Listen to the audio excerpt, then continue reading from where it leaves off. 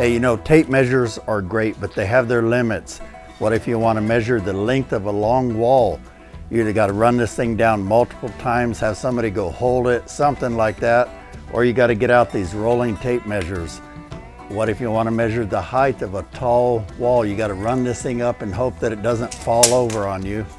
I'm going to show you the coolest tool I think I've ever seen on this channel, ever showed you on this channel. We're going to do that right after this.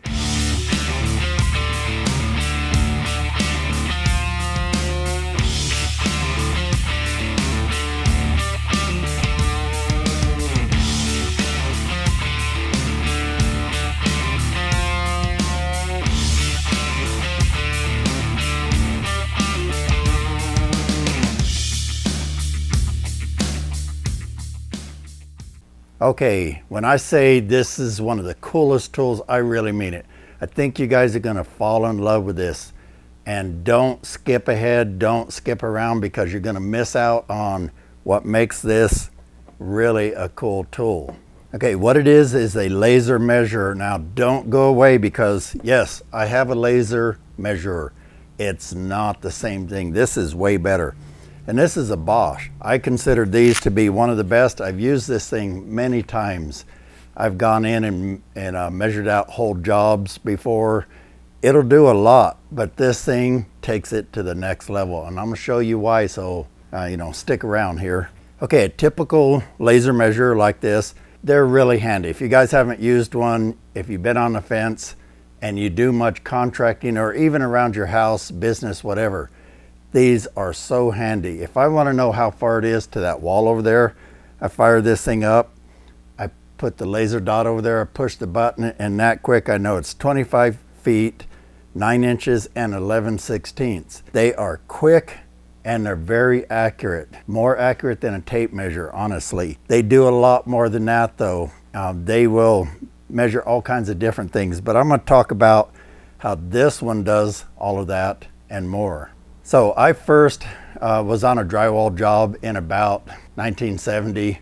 I was walking on stilts when I was eight years old in 1969. I used to go with my dad to help him measure out a job.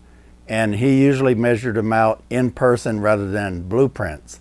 Now, when he did big commercial jobs, yeah, he got out the blueprints. As a matter of fact, somewhere I have my dad's old rolling measuring wheel. It's a little thing about this tall I remember seeing him use this when I was a little kid. He would have the blueprints out and he'd measure out all the walls, get all the distances. But when we'd go to measure out a house, we'd often just go in there with a 100 foot tape measure. And if you do it right, you can walk through and measure it out fairly quickly. But let's say you want to measure out job site, like where the walls are already up is even handier. It's a little harder to use these when there's uh, no walls up, no drywall. When the framing's up, you can use these for a lot of reasons, but it's a little bit harder. So what I came up with is I started taking this rolling measuring wheel onto jobs and rolling them around and you can walk around and get all the measurements. But sometimes these are much handier. Well, this one, the reason it's even more handy is it's got a number of improved functions on it and it's got a little trick up its sleeve I'm going to tell you about here in a minute. But first I'm going to tell you about some of the other functions and some of these are brand new to this tool also. For instance, this actually has a magnetic back which could be handy in certain situations and you can see it's a pretty strong magnet so it's handy for sticking to your toolbox, could be handy for metal studs. There's a number of ways you could use the magnet. It's also rechargeable, which is really handy. But this one also has a cool feature, which is it has a built-in level. So I'm gonna turn this on and I'm gonna show you guys a picture of the screen here and I'll try and show you a little video of it. But basically, when I set it like this, it's telling me, it's got an actual bubble level right here. It turns green when it's level and it turns red when you go a little bit tilted. Now that's not going to be super accurate, but it's going to give you a rough guide. But it also has an angle measurement in here. And you can see in the display that I'm showing you on screen here that it shows you the angle of tilt in degrees. So like right now I'm reading 5.8, 2.5. It's actually going to tell you when you're level, But more importantly, if you want to know the pitch of a roof, the angle to cut, say, let's say you're cutting a fascia, so basically a board going up at an angle and you know it needs to be straight up and down over here, but it's an angle. What do you cut it at? This will tell you the angle that something's running like that. So it's real handy for that. This also has a nice feature, which is this screen rotates. If I turn it this way, it stays to where I can read it. You can take this into a job, which you can do with this style too, and you can measure lengths and add them together. So let's say you want to get uh, the, the running footage of trim, baseboard trim. You can go in and you measure wall, you hit the plus, and you just keep adding, adding, adding, and it'll tell you what the total combined uh, lineal footage of your base trim that you need is. That's always handy. I've used that many times. You can use that to calculate the board footage of your drywall if you're going to calculate that. All you got to do is get the lineal footage, the running footage, and then figure the height of that wall or all of the walls that are the same height, and you've got the total square footage. But it also will measure the square footage of the floor, for example. Let's say you want to know how much flooring to get, or you just need to know the square footage of a room. You just shoot it one way, shoot it the other, and it'll calculate the square footage for you. It'll do the same thing on a wall if you just need to know the square footage of a wall for calculating how much paint you need. It'll calculate that. Usually that was hard to do. I'm going to show you why this one has made it so much simpler.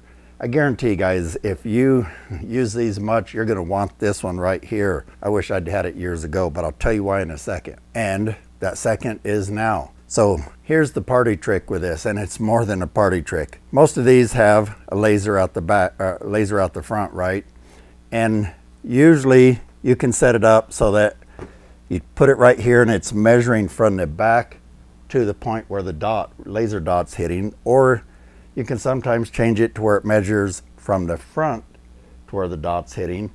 That can be handy. Let's say I wanted to measure from right here. Instead of having to try and line that up, I just put it right here it's going to measure from the front. But this one does more. I can hold this one in the middle of a room and it shoots a laser out that way and that way. That's the party trick that I love. Because here's the problem with the normal lasers. I, I just used one the other day in my RV. I've got another one of these. I didn't have this one with me. I wanted to measure the width of my RV inside. We're putting up skirting around all of our RV and I needed to know the width of it. Well, I had to lean over the sofa and, and do like this and try and aim it while you're leaned over. I've done that many times on a job site and it's a pain in the butt. Sometimes you can't even reach that wall. So you're trying to figure out some way because it has to touch there to measure over to there. This one has two lasers, so you could stand right here. Let me turn it back on. So you can see the laser dot right there on the level 5. I hope you can see that. It's right there and I'll show you that it's shining in the camera lens too. So it's shining out front and back. But you can change it so that you only measure from here to there or from here to there or only from here to there, or both. It's very flexible. It does so much. So you combine that with the fact that you got this built-in level, this pitch indicator, the uh, bubble thing, the bubble level, and that alone makes it one of the best tools I've ever seen. But let me tell you what else these things can do that make these really handy. Let's say I want to measure that wall over there and I know that it's about 13 feet. Well, normally what you would do you'd go into the job and you'd try and run your tape up and and you try and do something like measure maybe to here and then turn around and measure the other way or maybe you might run your tape measure up like so and you try and run it way up there and, and read it. It's not accurate. It's not a good way to do it. You get a rough idea. This thing uses some geometry. Um, basically it calculates a 354 i think it's pythagoras theorem of calculating a triangle. So let, let me explain that. The sum of the square roots of any two sides of an isosceles triangle is equal to the square root of the remaining side. That's a right triangle, you idiot! Go! When we're laying out a, a wall, sometimes we want to get it square, and if we uh, want to get it really square, if you lay out just a normal framing square, that's not very accurate. It only goes this far. You can be off by quite a bit. It's a little more accurate to do a three, four, five, meaning you measure uh, three foot one way, four foot another way, and then you measure out five foot, and when the, the five foot connects this point to this point, you have a perfect right angle. And the reason is that that formula, the sum of the squares of any two sides of a right triangle is equal to the square of the remaining side. So let's do that calculation. 3 squared is 9, 4 squared is 16. The sum of the two sides, 9 plus 16 is 25. Now the square of 25 is 5, so 3, 4, 5. So how do you use that? Well, you stand here and you point this at the base of the wall and then without moving your position too much, you point it up at the peak of the wall. And it simply takes those formulas, calculates it, and it'll tell you how high that wall is. It's a really handy function, especially when you got a really high wall. So hey, I'm gonna put a link to this in the description down below. Now this is a sponsored video. I wanna thank this company for sending this to me, but honestly, I am glad to have it. This is, like I say, one of the coolest things I've, I've received. I could use this a lot on a job site. And hey, by the way, I have recently released a book called Understanding Drywall Tools and Materials. So if you need help with understanding what tools and what materials you need, which ones you don't, how to save money on them, I'm gonna help you out with that book. I'll put a link to that in the description down below also. Hey, I'll see you guys on the next video. Take care, everybody.